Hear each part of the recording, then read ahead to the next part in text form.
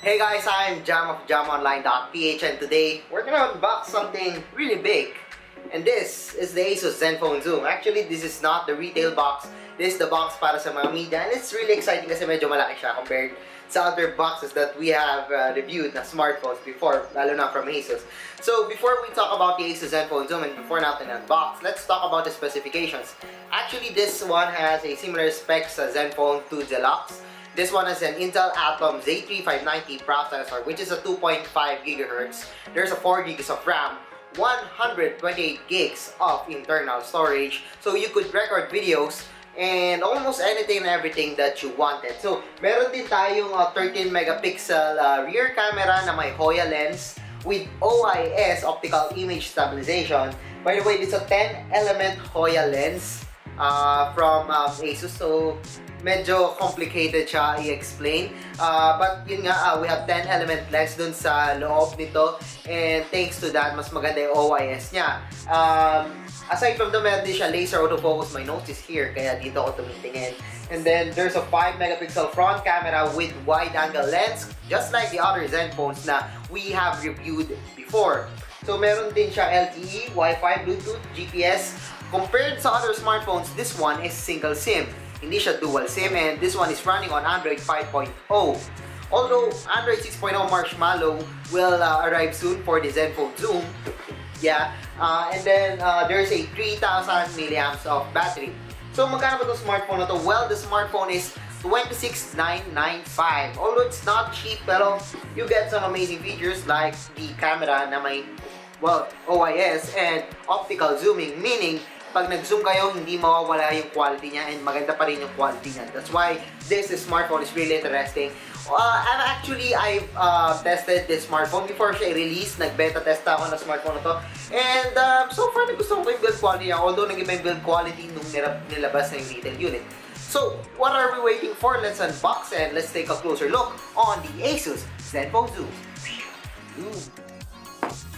Alright guys, so we have here the Asus Zenfone Zoom. So let's unbox this large, very large the media box. Alright, so yeah, we got a letter from Asus Philippines. A Zencredible photo cards na hindi ko pa alam kung para saan. So let's open this one.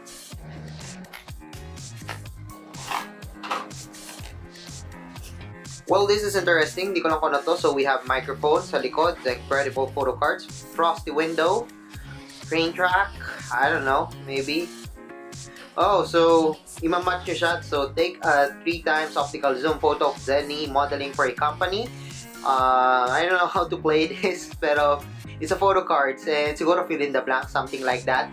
Really good, really interesting if you are a techie or a nerdy or something like us na mahilig sa mga ganito, probably you would want this one. It's a pretty game. Who wouldn't notice this guy? This is Zenny, man. This is Zenny. Cool. And lastly, the Zenfone Zoom. Well, this is the Zenfone Zoom, so let's take a uh, closer look and mag-zoom in tayo. Zenny is still watching. Okay, so unbox na natin. Ayan, so, oh, na medyo nagulo siya. So, we have the Asus uh, Zenfone Zoom here. So, I've turned it on kanina, so I'm gonna turn it on again. Yan, so, uh, this is the Asus Zenfone Zoom. Place muna sa sides.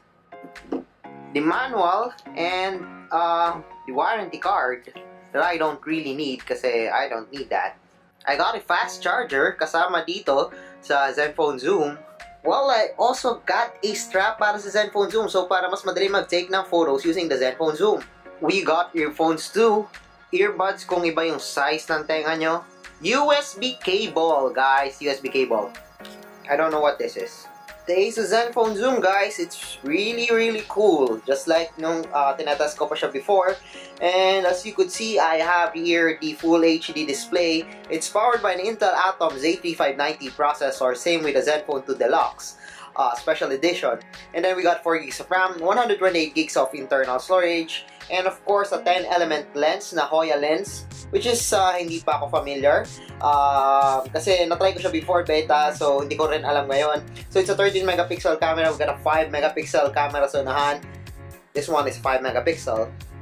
We got three capacitive buttons, the same Zen look. Zenfone look na dito sa ilalim. Um, this is not USB Type-C. This is uh, micro USB para sa, sa strap. And then uh, 3.5mm audio jack sa taas, microphone.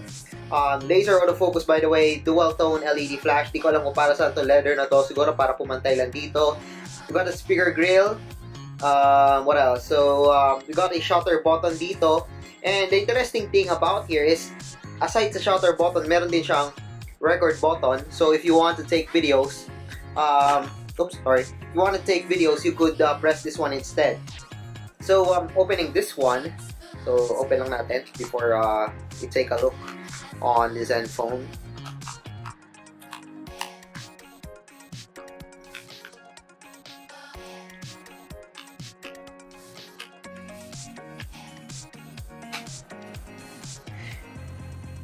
Inside the Asus Zenfone Zoom is a non-removable battery. We also have here the micro SD card slot, the SIM card slot. So if you wanted to, And then, um, balikan natin. So, let's talk about the build quality.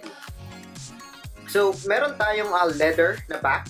Uh, maganda yung feel niya. Gusto, gusto ko yung feel niya actually. Iba yung pagka-leather niya. Maganda yung pagka-leather niya. Although medyo solid talaga yung leather niya. We also have a metal frame. Um, very premium and very sarap hawakan nung metal frame ng Asus Zenfone Zoom. So, um, opening this one. So, yan.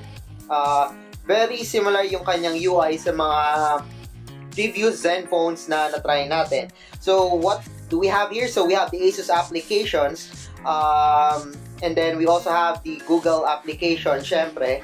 Apps for You, which is a bloatware. And we don't really need these applications.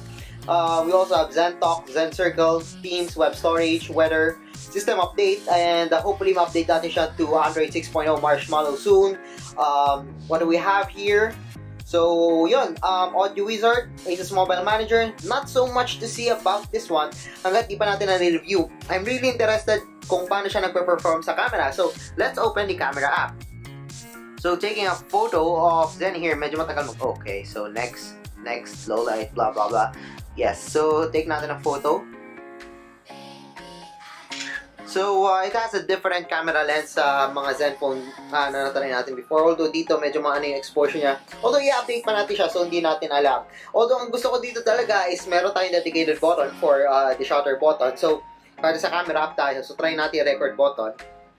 So, it automatically records a video if I wanted to. Um, cool and awesome. So, picture lang ulit si Zenny. My favorite model, si Zenny.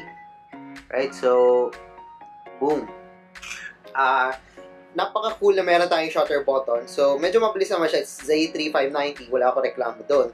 Although, not the fastest one, pero it's still, um, still good. Uh, hindi pa natin masya masabi masyado kung ano ba meron dito sa Hoya lens. Uh, it's, it's, again, it's not my first time to try out the Asus Zenfone Zoom, but I'm really interested kung paano siya magpe-perform sa paggamit ko. Once we um, tested it and uh, review it, uh, na magbabakasyon kami with Asus, so malalaman natin kung paano ba siya kaganda, and paano siya magpa-perform. So yes, I guess that's it sa unboxing and hands-on ng Asus Zenfone Zoom. So if you like this video, don't forget to give us a thumbs up. And if you haven't subscribed to my channel yet, well, now's the time to subscribe. Sabi nga ni Zenny, mag-subscribe na kayo. So once again, I'm Jam of JamOnline.ph and thank for watching the unboxing and hands-on of the Asus Zenfone Zoom.